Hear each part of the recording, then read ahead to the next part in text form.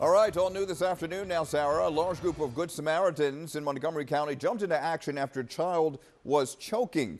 Authorities now say that child had, was, had a, a baggie of drugs in her mouth, and they had administered Narcan as a precaution. That child is okay tonight.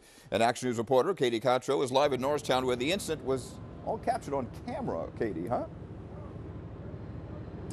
Rick, this is where that incident happened, right here on this street corner is where a huge group of Good Samaritans gathered. And we do want to stress, according to police, this toddler is in stable condition.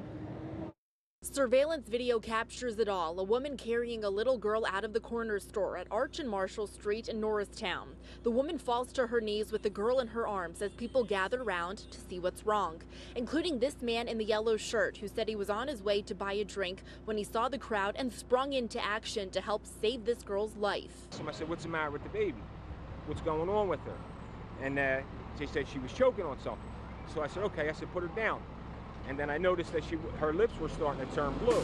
So I looked in her mouth to see if there's anything in there. And there was a blue bag in there. I pulled it out.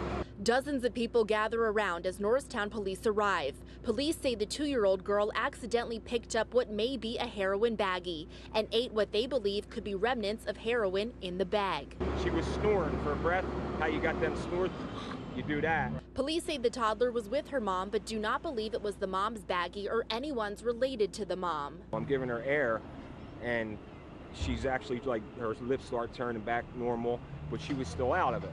And the, then the cop pulls up, and the officer went right over to his car, gave her Narcan in the nose, and she woke up like three, four minutes after that. You can see an ambulance arrives and medics take her to the hospital. Half of me's mad, half of me's upset. It's a little baby on the ground. And again, according to police, they say the toddler is in stable condition and no criminal charges have been pressed as police are looking to find out who this baggie belonged to.